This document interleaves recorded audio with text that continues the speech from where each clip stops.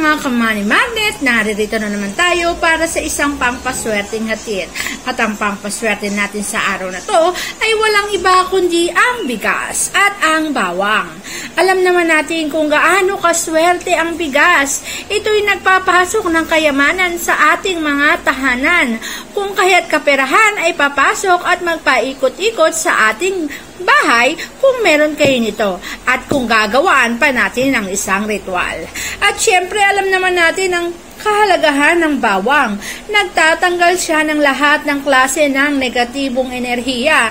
Nagbibigay din to ng swerte sa negosyo, swerte sa tahanan, at swerte sa pang-araw-araw nating buhay. Maraming proseso ang nagagawa ng bawang para pang paswerte, ganun din ang bigas. Umpisa natin sa paraan ng pampaswerte sa bigas. Kapag gusto mong swertihin ang pitaka mo, kukuha ka lang ng 21 na butil. Ayan. Pag sa pitaka ilalagay ah, kapag sa pitaka ko gusto mo maglagay, kumuha ka lang ng 21, bibilang ka ng 21 na butil ng bigas. Tapos ilagay mo sa wallet mo yung 21 na yan. Okay?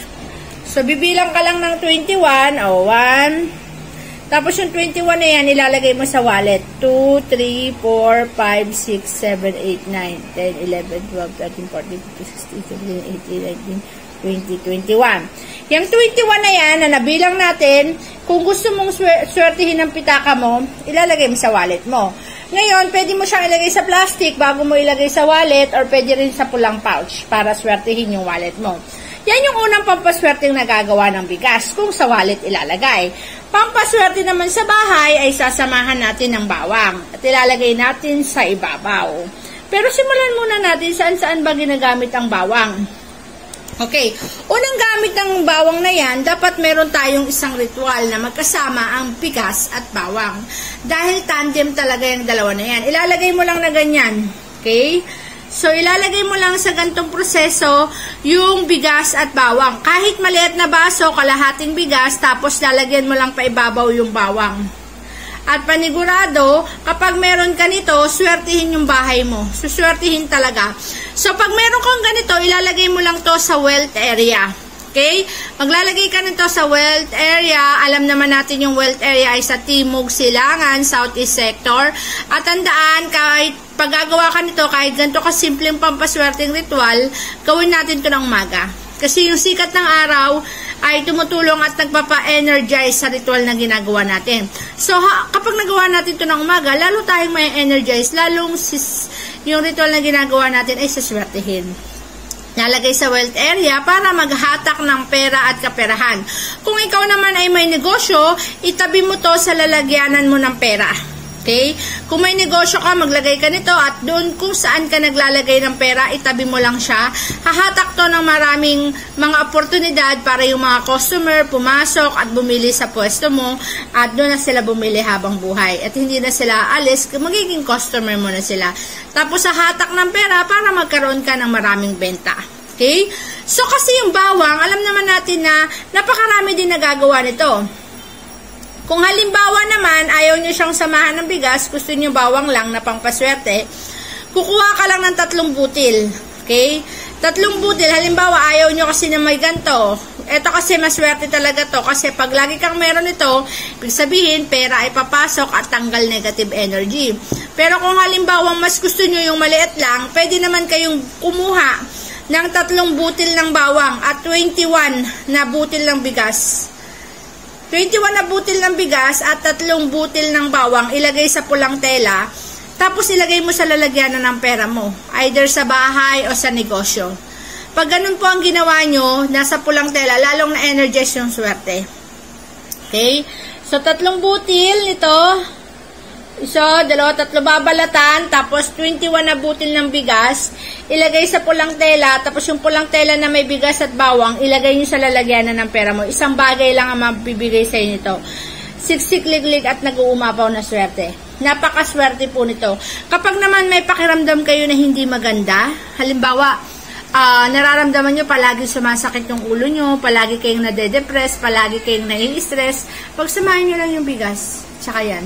Tapos, para mawala yung depress, uh, depression nyo, para mawala yung depression, para mawala yung sakit ng ulo, para mawala yung anxiety.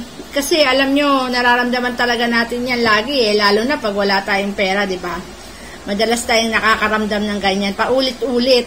Pero sabi ko nga sa inyo, kahit pa sabihin natin na naghihirap tayo, huwag nyong i-encourage sa sarili nyo ang depresyon. Kasi kayo lang po ang mahihirapan. Ang unang gawin nyo po ay solusyonan ang problema.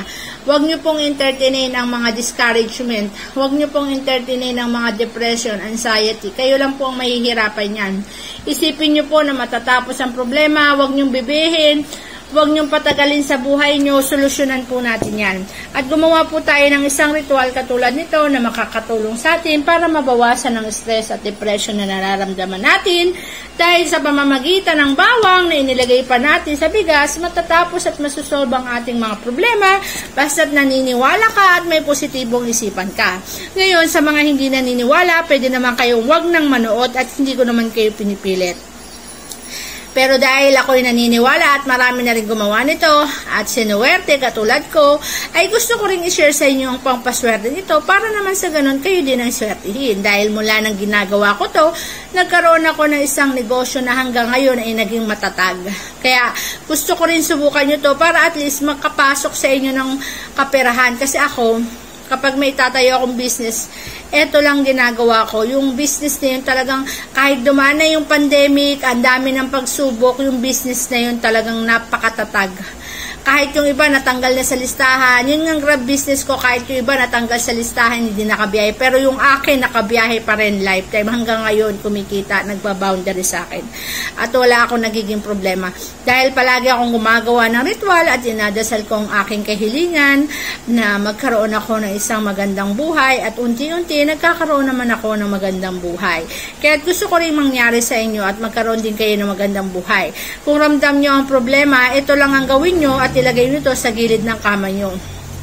Kasi kung nakahiga kayo at lagi nyo nararamdaman ng depression, kapag meron kayo sa gilid nito ng kama nyo, ay paniguradong yung depression na nararamdaman nyo ay mawawala. Yung depression na nagpapahirap sa iyo ay mawawala at talagang mapapalitan nyo ng success at tagumpay. At mapapalitan nyo ng pagkarami ng pera nyo. Okay po, basta ang mahalaga, huwag kayong magpapaubos ng bigas sa bahay nyo.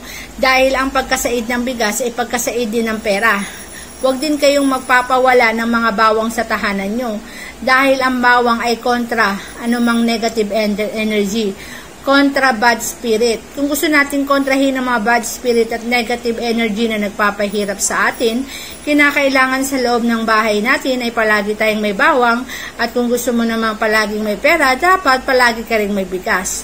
Kung kaya't pag pinagsama mo ang dalawang yan, ay talaga namang siksik-liglig at nag-uumapaw na swerte ang maibibigay nito sa iyo. Pero kung gusto mo namang dalhin yan sa pitaka mo o sa bag mo, pwede ka namang kumuha ng 21 na butil at tatlong piraso lamang na butil ng bawang at 21 na butil ng bigas, ilagay mo sa pulang tela, pwede mo nang ilagay sa bag mo. Para sa ganon, daladala mo sa bag mo yung swerte, saan ka man mapunta, ang swerte din ay daladala mo. Basta't ang mahalaga, kapag may dala kang bigas at bawang, bukod sa naligtas ka na sa anumang panganib, nagkaroon ka pa ng oportunidad na makuha lahat ng transaksyon na hinahangad mo. Kung online business naman ang ginagawa mo, kapag meron ka nito, ay paniguradong marami kang mahahatak na suki na bibili sa online business mo.